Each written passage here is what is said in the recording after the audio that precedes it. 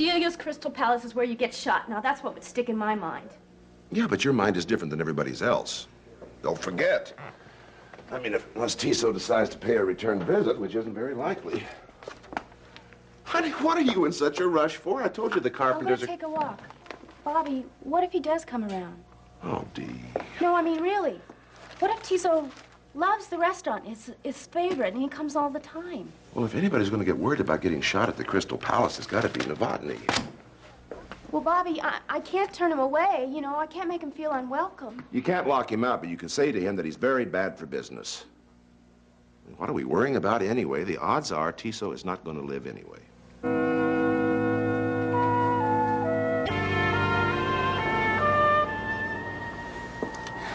What am I gonna do? Tiso's my partner. And the money. If he dies, I'll just use up all the money in the account and close in three months. If he lives, I'll close anyway because who wants to eat in a restaurant with gangsters? Ones they're shooting at anyway. Oh, Albert, what am I to do? You're the only one I can talk to. Do you know that? Hey, you. Nobody's allowed back here. Oh, I'm You know, there's a law against bothering the animals. I could call a cop. Oh, wait a minute. I, I'm Albert's friend. I visit him all the time. You can ask Owen. Look, lady, I'm in charge of this gorilla. If you mean Owen Douglas, he's gone. No, he's going to a zoo in, in Ulster County, but he hasn't left yet. Yeah. Why? Some came up. I couldn't say what. But I'm looking after things temporarily because the uh, new guy's not here yet. And you belong out front. Well, I can't believe that he didn't say goodbye. Oh, Albert, you must feel terrible. Hey, get your hands off there. It's all right. I'm not afraid of him. See, I'm the one that got him to first sign, you know, Banana. Owen said he was going to tell you about me. Delia Coleridge. I have no idea what you're talking about.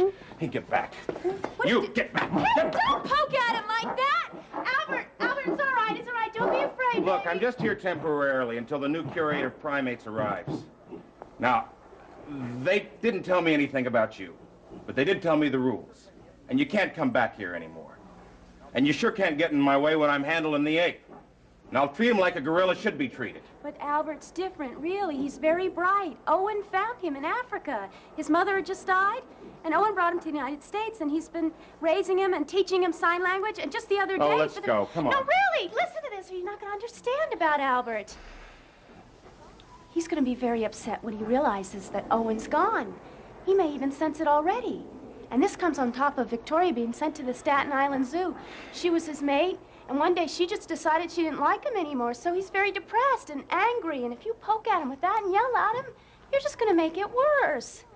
Look, let me give him a banana, really, and I'll show you how special he is. You're not allowed to Please. feed him. I know. Just, just trust me.